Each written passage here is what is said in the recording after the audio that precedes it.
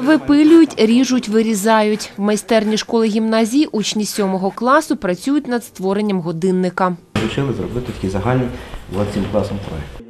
Учні школи гімназії неодноразово перемагали на міських тематичних виставках. На уроках трудового навчання діти виготовляють серветниці, підставки для смартфонів, дерев'яні метелики для хлопців. Прикрасою майстерні стала мапа України, яку школярі виготовили колективно. Вчитель Дмитро Луп'як каже, окрім роботи з деревиною, діти опановують слюсарну справу, ажурне випилювання, різьблення. Якщо в п'ятих, шостих класах дітки ще поки хочуть в першу чергу випилювати, працювати з лобзиком, в них простіші проекти. В сьомих класах, в шостих класах ми поступово переходимо до обробки е, деревини і ускладнюємо проекти. Над чим саме працювати і яку техніку опановувати, вчителі запитують у дітей. Починаючи з п'ятого класу, школярі повинні зреалізувати певну кількість проєктів, які згодом презентують на виставці Знай і люби свій рідний край. Я можу зробити щось своє. Якщо в мене щось не виходить, то мені завжди вчитель може допомогти.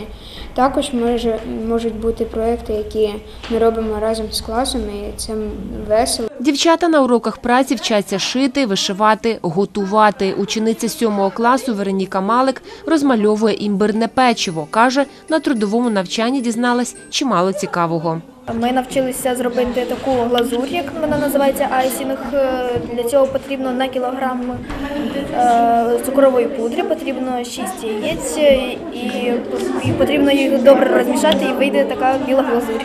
Дітям дуже подобається, особливо якщо говорити про кулінарію, вони цих уроків дуже чекають. Ми їх не можемо проводити багато, так як нас тут забезпечення немає для цього, щоб повністю провести. Але печиво, наприклад, вони випікали вдома самостійно. Ну, звичайно, десь з допомогою батьків, але рецепт вони отримували, записували, випікали. Учні школи гімназії номер 23 не лише розмальовують печиво, створюють іграшки хендмейд, а й працюють над створенням колекції одягу, яку презентують на фестивалі Феєрія моди 2018. Директор гімназії Наталя Богар запевняє, такі заняття є гарним початком профорієнтації учнів. Дитина має можливість визначитися, що їй більше подобається. Так?